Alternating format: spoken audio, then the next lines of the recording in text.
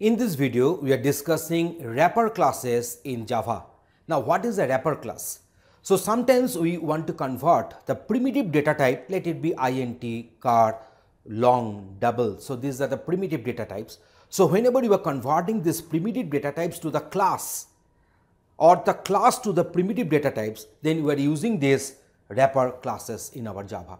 So, whenever primitive data types will be converted to the respective classes, it is known as boxing and whenever the classes will be converted to the respective primitive data types, it will be known as unboxing. So, let us go for further discussion on this topic. So, what are the wrapper classes? Wrapper classes in Java is a mechanism that can convert primitive data types to the objects and objects to the primitive data types. That means we are converting the primitive data types, let it be int, let it be char, let it be float, float.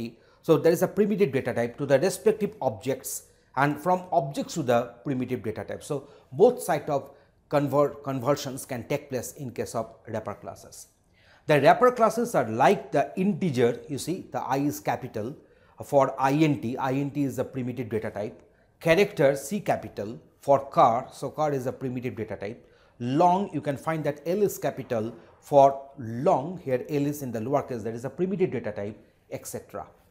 When a primitive data type is converted to the wrapper class object then it is known as boxing and when the wrapper class object is converted to the primitive data type it is known as unboxing. So, boxing and unboxing these two terms are very important and related to the wrapper class operations. So, there are some basic functions are there in the wrapper classes. So, let me discuss something on them. So, xxx value. So, here we have written this xxx actually it will get replaced by say either int or say char card or say float float. So, float value, int value, char value in this way. So, that is why in a generic way we have written xxx value function. So, these functions are used to get the values from the wrapper class objects the xxx will be replaced by either int or float or char etc. Next we are having the to string. So, that means it is used to convert a variable value like integer or float to a string. So, in that was it is for the conversion to the string in this case. In case we, uh, there are another function is there, there is a parse xxx. You can find that this x is capital and other two x are written in the lowercase later. So, parse xxx function so, parse int, parse float. So, these are used to convert a string input to a primitive type like your int or float etc. Then we are having there are some other functions in the wrapper classes which will be discussed in the demonstration which is following next. Please watch the demonstration they will be discussing our concept on this wrapper class using a Java code. In this demonstration we shall discuss on the wrapper class. Within the class that is the wrapper class here, we are defining one variable within the main function that is the int val is equal to 10. That means this val is one integer variable. int res, so we have defined one another integer variable res res and which is uninitialized. Now this particular val has been passed as the input argument to the integer constructor and integer here is nothing but one wrapper class so creating one integer type object using int. So integer integer is equal to new integer val. So in this way you can find that this val has been passed as the input argument to the constructor integer and it is actually helping it to define one object under the wrapper class integer here. So res is equal to integer dot int int value. That means here this the value which is there within this integer integer wrapper class object will be assigned to this res and res is going to get printed. So val was having the value 10 and this particular val has been wrapped within this wrapper class object that is the integer and from this integer we are trying to get the value now. So the respective method is i init value. So respective method is init value and that is uh, returning the respective value there uh, which is getting assigned onto the integer variable res and res is getting printed. So let me go for the execution. You can find that the, the value of res is 10 here. So it has got printed up to this level.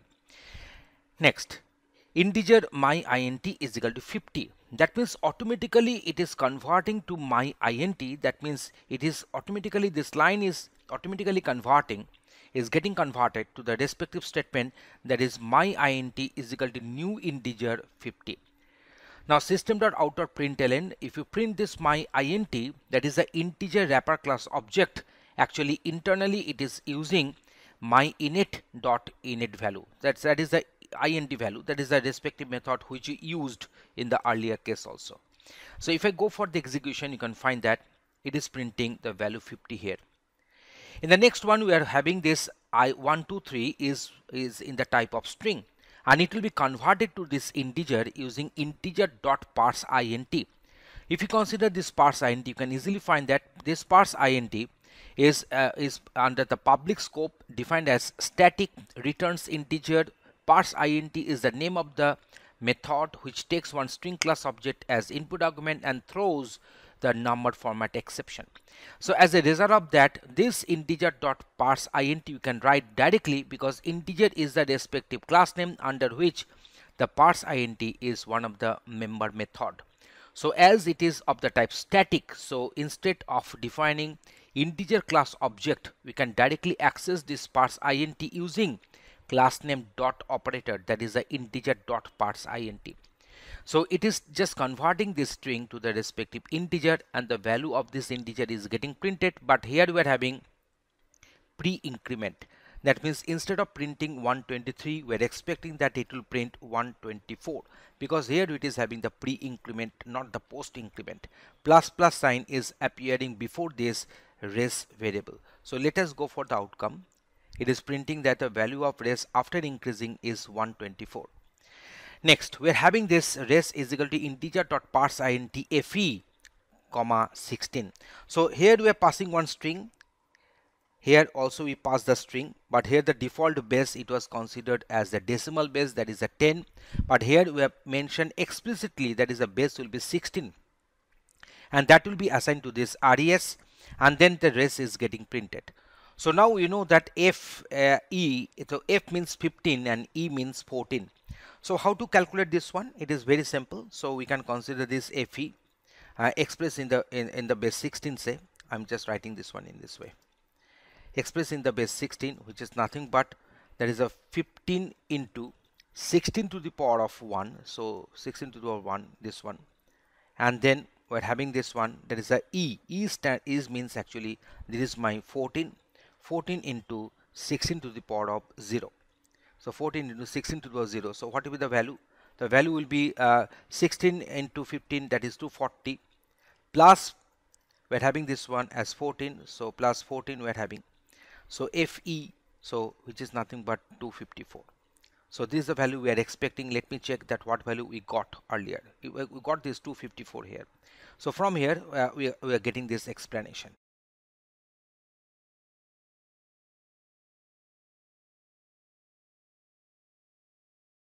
okay. Next one. Long dot to binary string. So long is another wrapper wrapper class and this to binary string is one method and which is public static string to binary long i. So it is it will take the long uh, variable as input argument and which returns a string as outcome and it is of the type static. So it is of the type static uh, uh, method. So that's why i can directly access this to binary string from this long class directly. Now here the value is 91. So let us express this 91 in terms of binary. So let me write it here. So we are having this 91. 91 is nothing but 64 plus 27. So 27 means 16 plus 11. So that means 8 plus 3 that means 2 plus 1. So in this way I can easily express this 91 so it is 64 is present you can find here. 32 is absent 16 is present 8 is present 4 is absent 2 is present and 1 is present. So that should be the respective equivalent binary equivalent of 91 so let me check what outcome we got here. You can find that we have got this one 1011 011 1011 011 yes.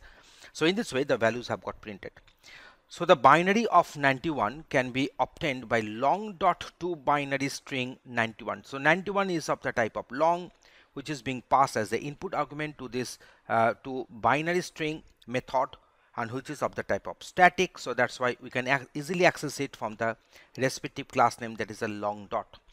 Long dot to hex string. So 91 will be converted to the respective hexadecimal. So what is the outcome here we are getting here? and that is about 5b. Why 5b? Because we know that 5b means 5 into 16 to the power 1. What is that? That is our 80 plus b. b stands for 11. So 80 plus 11. So that is 91. So uh, really we are having this 91 has got expressed in terms of hexadecimal here. So the next one is that we are having this integer. We define this integer uh, one uh, that is the integer wrapper class object integer.